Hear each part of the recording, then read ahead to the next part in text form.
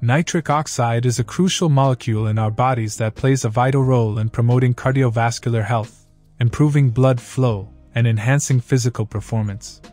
One of the most effective ways to increase nitric oxide levels is by consuming foods rich in nitrates, antioxidants, and other compounds that support nitric oxide production.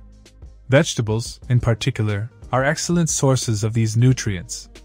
In this video, we'll explore the top 10 vegetables that can naturally boost nitric oxide levels in your body. Number 10. Endive. Endive is a leafy green that is rich in nitrates and low in calories. It helps to increase nitric oxide production, improve blood flow, and support heart health. Endive can be used in salads or as a crunchy addition to sandwiches. Number 9. Radishes.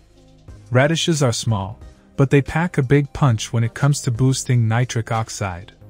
Their high nitrate content makes them an excellent choice for improving circulation and lowering blood pressure.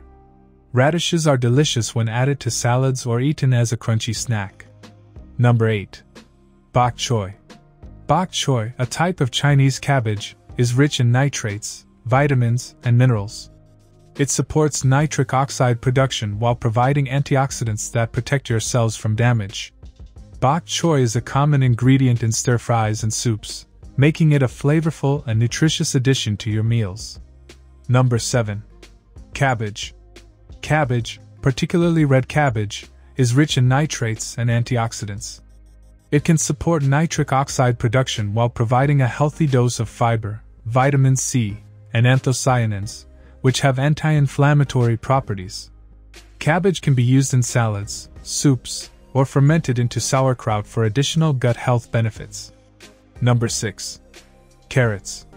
Carrots are not only known for their high beta carotene content but also for their ability to increase nitric oxide production due to their nitrate content.